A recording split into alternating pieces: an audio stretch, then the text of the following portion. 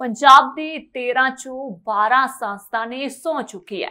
ਗੁਰਦਾਸਪੁਰ ਤੋਂ ਕਾਂਗਰਸ ਦੇ ਸੁਖਜਿੰਦਰ ਸਿੰਘ ਰੰਧਾਵਾ, ਜਲੰਧਰ ਤੋਂ ਕਾਂਗਰਸ ਦੇ ਚਰਨਜੀਤ ਸਿੰਘ ਚੰਨੀ, ਲੁਧਿਆਣਾ ਤੋਂ ਕਾਂਗਰਸ ਦੇ ਰਾਜਾ ਵੜਿੰਗ, ਅੰਮ੍ਰਿਤਸਰ ਤੋਂ ਕਾਂਗਰਸ ਦੇ ਗੁਰਜੀਤ ਸਿੰਘ ਔਜਲਾ, ਫਿਰੋਜ਼ਪੁਰ ਤੋਂ ਕਾਂਗਰਸ ਦੇ ਸ਼ੇਰ ਸਿੰਘ ਕੁਪਾਇਆ ਪਟਿਆਲਾ ਤੋਂ ਕਾਂਗਰਸ ਦੇ ਡਾਕਟਰ ਧਰਮਵੀਰ ਗਾਂਧੀ, ਫਤਿਹਗੜ੍ਹ ਸਾਹਿਬ ਤੋਂ ਕਾਂਗਰਸ ਦੇ ਅਮਰ ਸਿੰਘ ਤੇ ਬਠਿੰਡਾ ਤੋਂ ਅਕਾਲੀ ਦਲ ਦੇ ਹਰਸਿਮਰਤ ਕੌਰ ਬਾਦਲ, ਸੰਗਰੂਰ ਤੋਂ ਆਪ ਦੇ ਮੀਤ ਹੇਅਰ ਸ਼੍ਰੀ ਅਨੰਦਪੁਰ ਸਾਹਿਬ ਤੋਂ ਮਲਫਿੰਦਰ ਕੰਗ ਤੇ ਹੁਸ਼ਿਆਰਪੁਰ ਤੋਂ ਡਾਕਟਰ ਰਾਜਕੁਮਾਰ ਚੱਬੇਵਾਲ।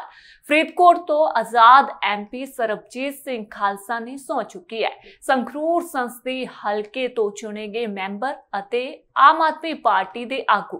ਗੁਰਮੀਤ ਸਿੰਘ ਮੀਤ ਹੇਅਰ ਨੇ ਸੰਸਦ ਦੇ ਵਿੱਚ ਲੋਕ ਸਭਾ ਮੈਂਬਰ ਵਜੋਂ ਜਦੋਂ ਸੌਂ ਚੁੱਕੀ, ਤਾਂ ਉਸ ਮੌਕੇ ਸੰਸਦ ਭਵਨ 'ਚ ਮੁੱਖ ਮੰਤਰੀ ਭਗਵੰਤ ਮਾਨ ਅਤੇ ਮੀਤ ਹੇਅਰ ਦੇ ਮਾਤਾ-ਪਿਤਾ ਸਣੇ ਪਤਨੀ ਵੀ ਹਾਜ਼ਰ ਸਨ।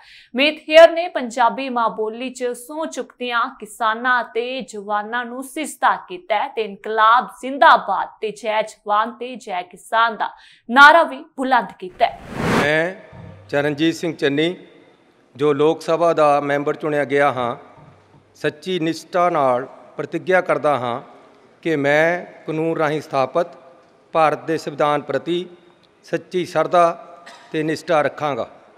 ਭਾਰਤ ਦੀ ਸਰਵ ਸਮਰੱਥਾ ਅਤੇ ਅਖੰਡਤਾ ਨੂੰ ਕਾਇਮ ਰੱਖਾਂਗਾ ਅਤੇ ਜਿਸ ਅਹੁਦੇ ਨੂੰ ਮੈਂ ਸੰਭਾਲਣ ਵਾਲਾ ਹਾਂ, ਉਸ ਦੇ ਕਰਤੱਵਾਂ ਨੂੰ ਸ਼ਰਧਾ ਪੂਰਵਕ ਨਿਭਾਵਾਂਗਾ।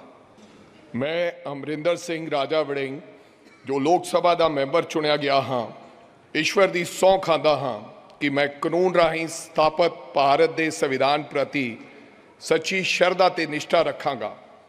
ਭਾਰਤ ਦੀ ਸਰਬ ਸਮਰੱਥਾ ਅਤੇ ਅਖੰਡਤਾ ਨੂੰ ਕਾਇਮ ਰੱਖਾਂਗਾ ਅਤੇ ਜਿਸ ਅਹੁਦੇ ਨੂੰ ਮੈਂ ਸੰਭਾਲਣ ਵਾਲਾ ਹਾਂ, ਉਸ ਦੇ ਕਰਤੱਵਾਂ ਨੂੰ ਸ਼ਰਧਾ ਪੂਰਵਕ ਨਿਭਾਵਾਂਗਾ। ਸੁਖਜਿੰਦਰ ਸਿੰਘ ਰੰਧਾਵਾ, ਜੋ ਲੋਕ ਸਭਾ ਦਾ ਮੈਂਬਰ ਚੁਣਿਆ ਗਿਆ ਹਾਂ, ਈਸ਼ਵਰ ਦੀ ਸਹੁੰ ਖਾਂਦਾ ਹਾਂ ਕਿ ਮੈਂ ਕਾਨੂੰਨ ਰਾਹੀਂ ਸਥਾਪਿਤ ਭਾਰਤ ਦੇ ਸੰਵਿਧਾਨ ਪ੍ਰਤੀ ਸੱਚੀ ਸ਼ਰਧਾ ਅਤੇ ਨਿਸ਼ਠਾ ਰੱਖਾਂਗਾ। ਭਾਰਤ ਦੀ ਸਰਬ ਸਮਰੱਥਤਾ ਅਤੇ ਅਖੰਡਤਾ ਨੂੰ ਕਾਇਮ ਰੱਖਾਂਗਾ ਅਤੇ ਜਿਸ ਸੌਦੇ ਨੂੰ ਮੈਂ ਸੰਭਾਲਣ ਵਾਲਾ ਹਾਂ ਉਸ ਦੇ ਕਰਤੱਵਾਂ ਨੂੰ ਸ਼ਰਧਾ ਪੂਰਵਕ ਨਿਭਾਵਾਂਗਾ। ਮੈਂ ਹਰਸਿਮਰਤ ਕੌਰ ਬਾਦਲ ਜੋ ਲੋਕ ਸਭਾ ਦੀ ਮੈਂਬਰ ਚੁਣੀ ਗਈ ਹਾਂ ਈਸ਼ਵਰ ਦੀ ਸਹੁੰ ਖਾਂਦੀ ਹਾਂ ਕਿ ਮੈਂ ਕਾਨੂੰਨ ਰਾਹੀਂ ਸਥਾਪਿਤ ਭਾਰਤ ਦੇ ਸੰਵਿਧਾਨ ਪ੍ਰਤੀ ਸੱਚੀ ਸ਼ਰਧਾ ਤੇ ਨਿਸ਼ਠਾ ਰੱਖਾਂਗੀ। ਭਾਰਤ ਦੀ ਸਰਬ ਸਮਰੱਥਾ ਅਤੇ ਅਖੰਡਤਾ ਨੂੰ ਕਾਇਮ ਰੱਖਾਂਗੀ ਅਤੇ ਜਿਸ ਅਹੁਦੇ ਨੂੰ ਮੈਂ ਸੰਭਾਲਣ ਵਾਲੀ ਹਾਂ ਉਸ ਦੇ ਕਰਤੱਵਾਂ ਨੂੰ ਸ਼ਰਧਾ ਪੂਰਵਕ ਨਿਭਾਵਾਂਗੀ। ਮੈਂ ਗੁਰਮੀਤ ਸਿੰਘ ਮੀਥੇਅਰ ਜੋ ਲੋਕ ਸਭਾ ਦਾ ਮੈਂਬਰ ਚੁਣਿਆ ਗਿਆ ਹਾਂ ਈਸ਼ਵਰ ਦੀ ਸਹੁੰ ਖਾਂਦਾ ਹਾਂ ਕਿ ਮੈਂ ਕਾਨੂੰਨ ਰਾਹੀਂ ਸਥਾਪਿਤ ਭਾਰਤ ਦੇ ਸੰਵਿਧਾਨ ਪ੍ਰਤੀ ਸੱਚੀ ਸ਼ਰਧਾ ਅਤੇ ਨਿਸ਼ਠਾ ਰੱਖਾਂਗਾ। ਭਾਰਤ ਦੀ ਸਰਬ ਸਮਰੱਥਾ ਅਤੇ ਅਖੰਡਤਾ ਨੂੰ ਕਾਇਮ ਰੱਖਾਂਗਾ ਅਤੇ ਜਿਸ ਅਹੁਦੇ ਨੂੰ ਮੈਂ ਸੰਭਾਲਣ ਵਾਲਾ ਹਾਂ, ਉਸ ਦੇ ਕਰਤੱਵਾਂ ਨੂੰ ਸ਼ਰਧਾ ਪੂਰਵਕ ਨਿਭਾਵਾਂਗਾ। ਮੈਂ ਸਰਦਾਰ ਸਰਬਜੀਤ ਸਿੰਘ ਖਾਲਸਾ, ਜੋ ਲੋਕ ਸਭਾ ਦਾ ਮੈਂਬਰ ਚੁਣਿਆ ਗਿਆ ਹਾਂ ਈਸ਼ਵਰ ਦੀ ਸਹੁੰ ਖਾਂਦਾ ਹਾਂ ਕਿ ਮੈਂ ਕਾਨੂੰਨ ਰਾਹੀਂ ਸਥਾਪਿਤ ਭਾਰਤ ਦੇ ਸੰਵਿਧਾਨ ਪ੍ਰਤੀ ਸ਼ਰਧਾ ਤੇ ਨਿਸ਼ਠਾ ਰੱਖਾਂਗਾ।